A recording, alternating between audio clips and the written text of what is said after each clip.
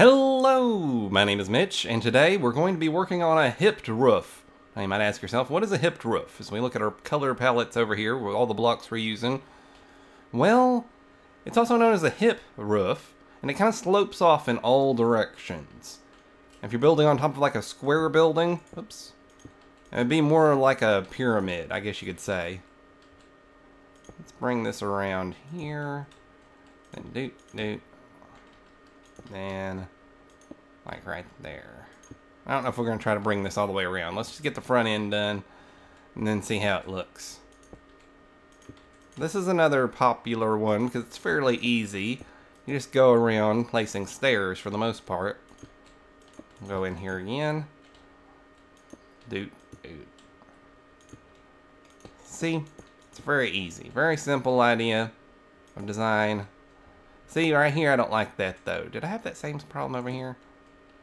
Well, yeah, this one goes this way. Yeah, I turned that one. That's why it's not doing that. Aha. So there we go.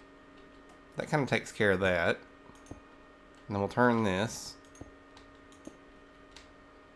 Well, see, it's already starting to come together with a good roof design. Now, do we want to keep going up? That's the next question. We could stop here, but let's keep going. Let's see what this ends up looking like. Oops. Come on.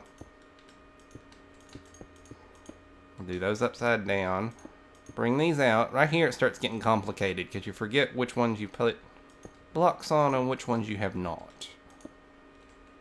And then we'll bring this out right here. And then, okay, yeah, we were turning these inside. Let's go back over here and turn this one inside. Oops. Like that. So that way you don't see any empty holes or gaps. In all honesty, this is probably as high as I would probably take this. So you go like that, you put a good slab, give it a good slabbing, and then pretty much you'd be done. Let's go ahead and extend this one side out here a little bit. Of course, you go all the way around the house, too. For timing's sake, we're just going this far. See? That already, it's nice looking little roof there. All stairs. What happens if we keep going up, though? Let's give it a shot. Let's see. Uh-oh. I did something different here. This goes... It's one, two. Grr. See, here's another roofing problem. Okay, that's five across. One, two, three, four, five. And then we'll turn this one this way. And then turn this one this way. Hmm. Why is that doing that? Is it that one?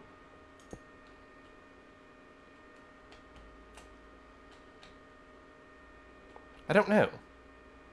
But anyway, you get the basic point here. You just keep going up with stairs.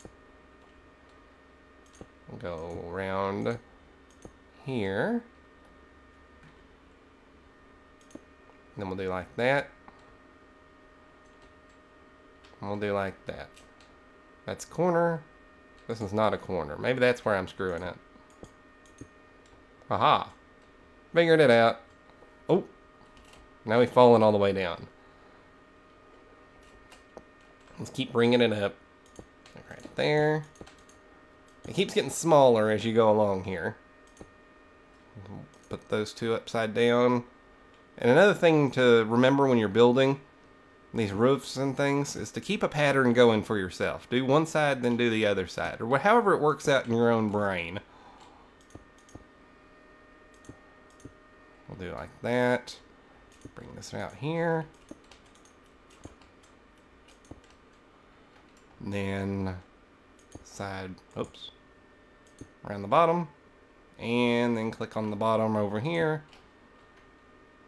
And then we go do do do do.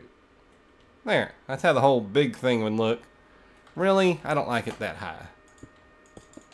Mainly because I think I screwed up somewhere. I would keep it at that original height that I stopped at. I think that, for the most part, looks better. But you tell me, which one do you like more? Like down, like right about here. Because then that leaves you more building space on top if you wanted to like maybe add a second floor. Which would could be cool. But like say right there, I like it. So I hope you like this too. If you did, make sure you leave a like, leave a comment. Tell me which kind of roof type you'd like for me to cover next. And I will see you guys again next time.